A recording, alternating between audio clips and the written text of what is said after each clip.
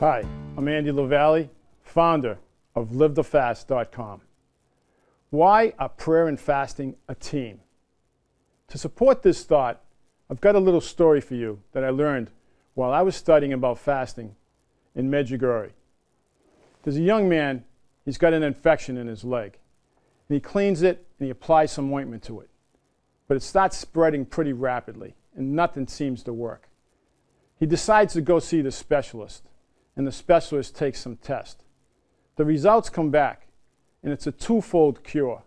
The specialist tells him they must be used together to restore the health, the good health in his leg.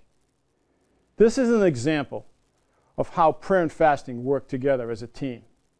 They must work together to restore the health in our society, in our families, and in the world today.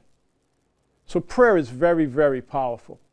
But combined with fasting, it cannot be denied. Our Lady herself says that prayer and fasting is so powerful that it can stop wars. Look, prayer and fasting work. How do I know? Well, sometimes, until you experience it yourself, you're a skeptic. And yes, that was me. I learned firsthand how they work. For me, when I used them together and left, I left all my vices aside and I embraced the virtues of the Holy Spirit. In the book Great Lent by theologian Alexander Schmemann, he looks back into the Old Testament in the Garden of Eden when God tells Adam to not take the fruit from the tree. And then the devil came and he tempted him and he succumbed. By giving in to his desires and, and not fasting from the fruit of the tree, he separated himself from God. Once separated from God, sin is revealed. The fall of Adam had everything to do with food. Then the new Adam, Jesus, comes to show us a better way.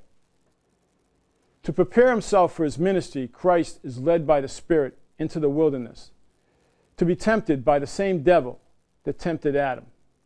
He fasted 40 days and 40 nights, and he proved that the conquest of Satan and all his temptations is possible through the practice of prayer and fasting. The meaning of these two examples is significant. Because in Jesus' example, prayer and fasting won a decisive victory over evil. And Jesus shows us its ultimate importance that it will directly affect our own salvation. I've got a great love and a devotion for the Blessed Mother. She's reaffirmed this importance to me by asking us all to convert to her Son through prayer and fasting. She taught me firsthand that con- true conversion cannot happen without the team of prayer and fasting. In countless, countless apparitions, the Blessed Virgin Mary has referred to prayer and fasting as a team. In fact, in one of those, she said, other than the Holy Eucharist, other than her Son in the Holy Eucharist, the most powerful weapon that we can use against Satan is prayer and fasting. She also recommends a bread and water fast bread to signify her Son in the Holy Eucharist, and water for the cleansing of the soul. In Father Slavko Barbaric's book, Fast with the Heart, he says, Without prayer and fasting, God's plans cannot be realized. So it's our cooperation. It's our cooperation that is very, very important. Which leads me to my final thought.